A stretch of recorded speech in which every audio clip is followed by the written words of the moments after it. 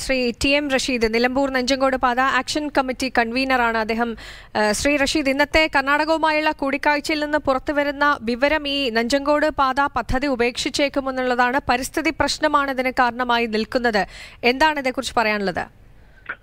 Kerala government തികഞ്ഞ അനാസ്ഥയാണ് Karnataka government അത്തരമൊരു തീരുമാനം എടുത്തിട്ടുണ്ടെങ്കിൽ അതിന് പിന്നിലുണ്ടായിട്ടുള്ളത് നിലമ്പൂർ നഞ്ചങ്കോട് റെയിൽ പാതയ്ക്ക് കേന്ദ്ര ഗവൺമെന്റിന്റെ അനുമതി ലഭ്യമായിട്ടുള്ളതാണ്. ഈ പാതയുടെ ഡി പി ആർ തയ്യാറാക്കുന്നതിന് വേണ്ടി ഡോക്ടർ ഇ ശ്രീധരന്റെ നേതൃത്വത്തിൽ ഡി എം ആർ സിയെ ചുമതലപ്പെടുത്തുകയും ചെയ്തിട്ടുള്ളതാണ്.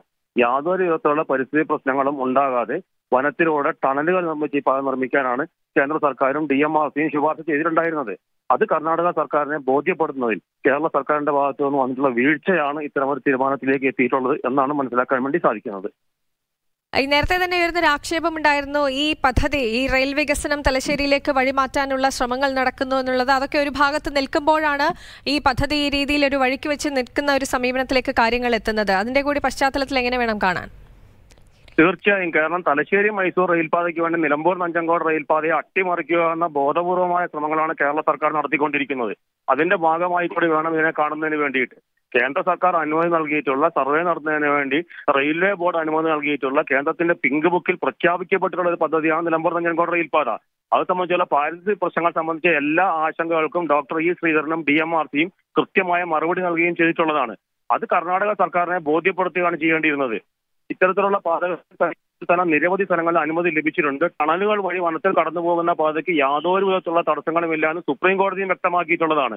അതിന്റെ നിയമപരവും പാരിസ്ഥിതികമായ വശങ്ങൾ ഇത്ര കൃത്യമായി മനസ്സിലാക്കാമെന്നിരിക്കെ എന്തുകൊണ്ട് അത് കർണാടക സർക്കാരിനെ ബോധ്യപ്പെടുത്താൻ കേരള സർക്കാരിന് കഴിയുന്നില്ല എന്നുള്ളത് വളരെ വ്യക്തമാണ് അക്കാര്യത്തിൽ നമുക്ക് മനസ്സിലാക്കാൻ സാധിക്കുക. തലശ്ശേരി മൈസൂർ റെയിൽപാതയ്ക്ക് വേണ്ടി നിലമ്പൂർ നഞ്ചൻകോട് റെയിൽപാതയെ അട്ടിമറിക്കുന്നതിൽ കേരള സർക്കാർ തുടർന്നുകൊണ്ടിരിക്കുന്ന ഒരു സമീപനത്തിന്റെ ബാക്കി മാത്രമാണ് ഇന്നത്തെ ചർച്ചയിൽ ഉണ്ടായിട്ടുള്ളത്. മറ്റൊന്ന് ഈ ഒരു ബജറ്റിൽ പ്രഖ്യാപനമടക്കം ഉണ്ടായ സാഹചര്യത്തിൽ ഒരു വലിയ പദ്ധതിയായി മുന്നോട്ട് വെക്കുന്നതിന്റെ കാര്യത്തിൽ ഇപ്പോൾ ഒരു പരിസ്ഥിതി പ്രശ്നം ഒരു ആശങ്കയായി നിൽക്കുന്നുണ്ടെങ്കിൽ ഈ ഉപേക്ഷിക്കുക എന്നതിന് മുൻപ് കൂടുതൽ പരിശോധനകളിലേക്ക് കടക്കേണ്ട ഒരു സാഹചര്യമില്ലേ? നോക്കൂ യാതൊരു പരിസ്ഥിതി പ്രശ്നം ഉണ്ടാക്കുകയില്ല എന്ന് കേന്ദ്ര സർക്കാരിനും റെയിൽവേ ബോർഡിനും ബോധ്യപ്പെടുമ്പോഴാണല്ലോ ഒരു റെയിൽപാതയ്ക്ക് അനുമതി ലഭിക്കുക. അത് സംബന്ധിച്ച് എന്തെങ്കിലും ആശങ്കകൾ നിൽക്കുന്നുണ്ടെങ്കിൽ കൂടുതൽ പഠനങ്ങൾ നടത്തുകയാണ് വേണ്ടത്. ടണലുകളിലൂടെ പോകുന്ന ഒരു റെയിൽപാത എന്ത് പാരിസ്ഥിതിക പ്രശ്നമാണ് ഉണ്ടാക്കുക എന്നത് കേരള സർക്കാർ തന്നെ അല്ലേ വ്യക്തമാക്കേണ്ടത്? അങ്ങനെ ഒരു പ്രശ്നം ഇല്ലാത്തത് കൊണ്ടാണല്ലോ പാതയ്ക്ക് അനുമതി ലഭിച്ചിട്ടുള്ളത്. ഈ അനുമതി ആയ ഘട്ടത്തിന് ശേഷം ഇപ്പോൾ ഇങ്ങനെ ഒരു ആശങ്ക ഉയർന്നാലും അതും പരിശോധിക്കേണ്ടതാണ്. തീർച്ചയായും അത് പരിശോധിക്കാനുള്ള സംവിധാനങ്ങൾ നമുക്ക് നിലവിലുണ്ടല്ലോ. അതിലേക്കല്ലേ പോകേണ്ടത്? അല്ലാതെ കർണാടക സർക്കാർ പറയുന്നത് കേട്ട് പാത ഉപേക്ഷിക്കുക എന്നൊരു പ്രഖ്യാപനം നടത്തുകയാണോ കേരള സർക്കാർ ചെയ്യേണ്ടിയിരിക്കുന്നത്?